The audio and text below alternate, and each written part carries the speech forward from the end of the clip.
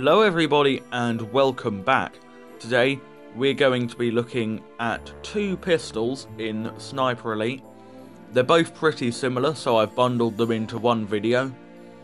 And it, they are the Welrod and the HDM.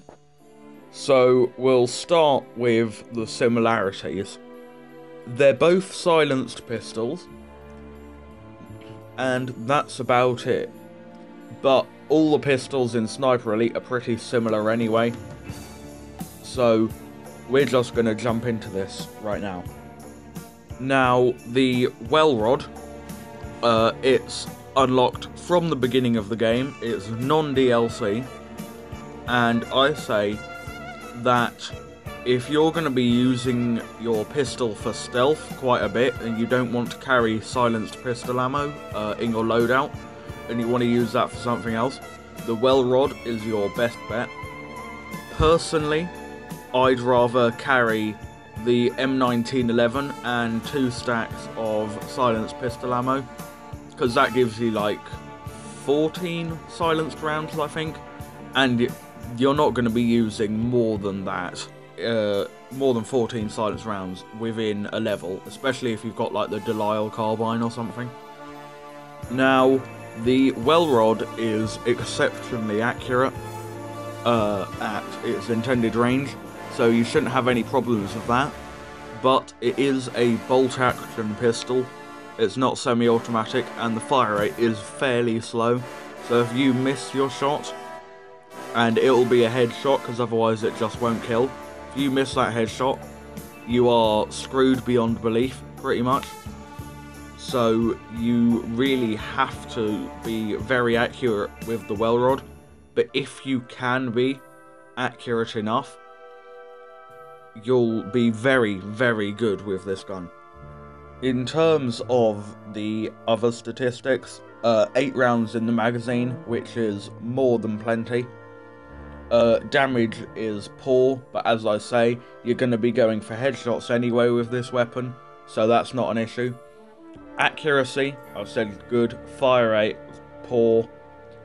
It's a very flawed weapon, but because it is permanently silenced, and because you can find pistol ammo relatively easily throughout the level, whereas it's nigh on impossible to find silenced pistol ammo, you can use this for like an entire level and you'll be fine.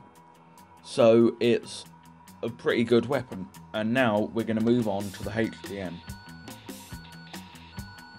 The HDM is similar to the Welrod in the fact that they're both silenced pistols and overall they've got similar statistics all around. Now, a big selling point of the HDM is it's semi-automatic compared to the Welrod's uh, bolt action and that allows a much higher fire rate. However, it is a little less accurate and the damage isn't as good. Although, because it's semi-automatic, it's going to have a lower time to kill and a higher damage per second anyway. But the damage isn't what we're looking at because you're going to go for headshots anyway with these weapons. Uh, it does have two more rounds in the magazine, which is ultimately not really that useful. If you've fired eight rounds without reloading, then something's evidently gone a bit wrong with your detection and you'll have been found. So the magazine capacity doesn't really matter here because you're going to be firing in single shots. Now for the make or break decision. Which one do I think is better, the Welrod or the HDM? Honestly, I think it has to be the Welrod, just because of the higher accuracy.